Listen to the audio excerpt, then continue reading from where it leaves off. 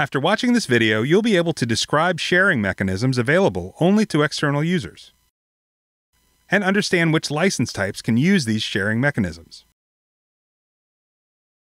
If you haven't yet, watch the Who Sees What series to understand the basics of sharing in a Salesforce org, as well as the Who Sees What in Experience Cloud playlist. Salesforce offers a sharing mechanism available only to external users.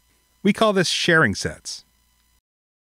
Sharing sets were made specifically for high volume sites, making it easier for large numbers of site users to have access to records or other users.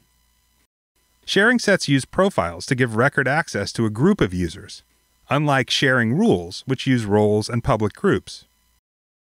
A sharing set can use one of two concepts a direct lookup on the record you want to share, such as the account associated to a case, or an indirect lookup on the record you want to share, such as the account associated to an asset which is associated to a case. Let's look at a couple of examples to understand how this works. In our first example, Pacifica wants to give customer users on the same account access to each other's cases. To do this, Pacifica creates a sharing set on the case object, giving read access to cases owned by users of the same account. In this way, users within the same account can see each other's cases. This sharing set is using a direct lookup. In our second example, Pacifica wants to give service contractors access to accounts of homeowners who have purchased a solar panel. The solar panel is represented as an asset on the homeowner account.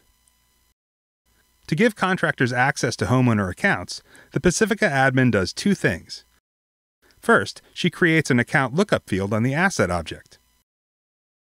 Then, she creates a sharing set on accounts she uses an indirect account lookup on the asset object. The service contractors will get read access to homeowner accounts when the account and asset are linked via lookup. Let's see this in action. Alex, a homeowner, buys a solar panel from a Pacifica reseller, Solar Contractors. He signs an installation and service contract with Solar Contractors. Solar Contractors is added as a lookup to the solar panel asset record with the service contract object. As a result, the solar contractor technicians have read access to Alex's account, so they can call him to set up an appointment. Sharing sets are available to all community licenses. Records shared using sharing sets aren't visible via org-wide defaults, role hierarchies, or sharing rules. You can only create one sharing set per object and per profile.